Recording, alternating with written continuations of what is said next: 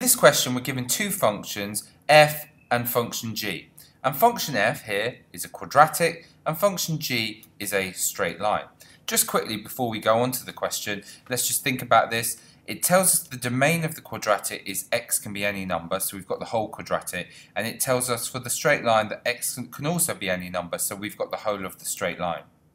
Now, for part A, we're, work, we're asked to work out the range of f, i.e. This is all the y values it can take, all possible y values. Now, it's really helpful when doing this type of question about a range to draw the graph. So we're going to draw the quadratic. Now, in particular, I'm going to give it a name y, just for now. y is equal to x squared subtract 3x add 7. Whenever dealing with questions about a range with a quadratic, Draw the graph for sure, but use completed the square to draw the graph. It's the best way to find the minimum or maximum point. So what we're going to do is we're going to have y is therefore equal to x subtract 3 over 2, all squared.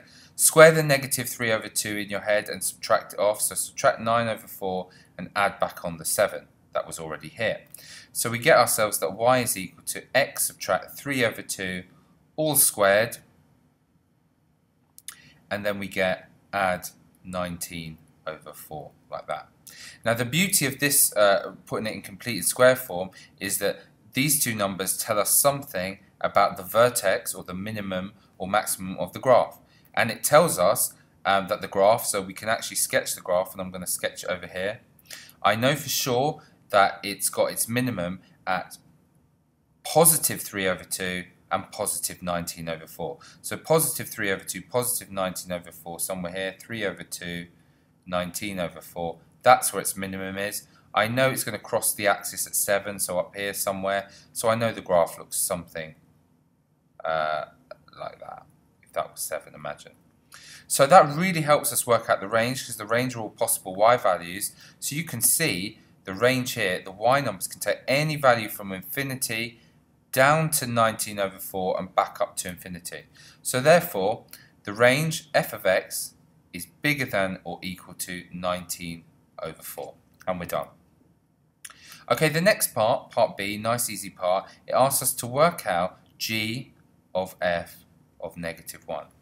Now, let's start off by getting a mark by working out f of negative 1, which is when you put negative 1 into this quadratic up here.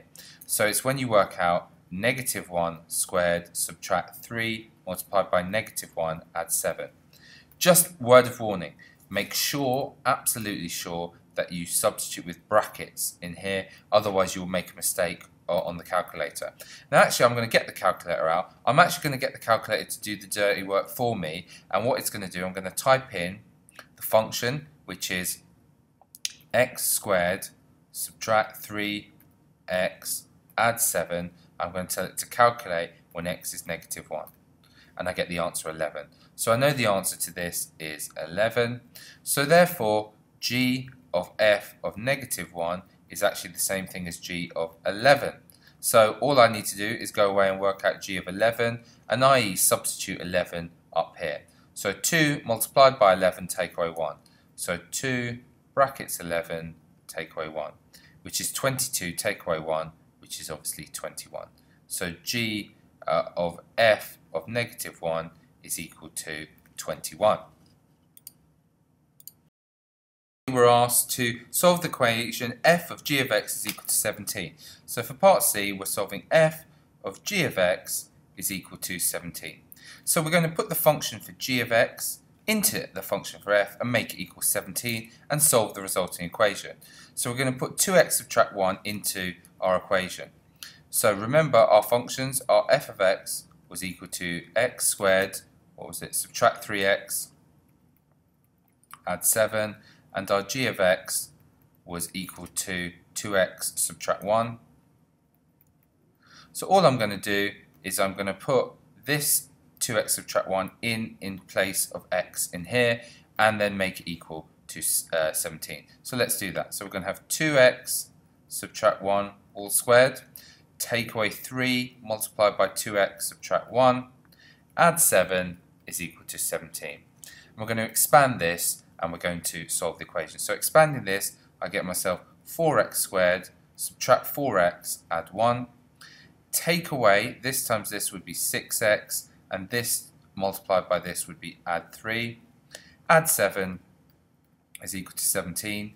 Collecting like terms, so we've got a 4x squared here, and we've got negative uh, 4x here, we've got negative 6x here, and we're going to collect numbers. We've got a 1, a 3, and a positive 7. So I'm going to collect all that, and I have myself 4x squared, subtract 10x, add 11 equals 17. Subtract the 17 of both sides, 4x squared, subtract 10x, and we're going to have subtract 6 is equal to 0. Uh, it would be helpful to divide everything by 2 here because 2 is a factor of everything. So we have 2x squared, subtract 5x, subtract 3 is equal to 0. Hopefully we can factorise this. So 2x, x here.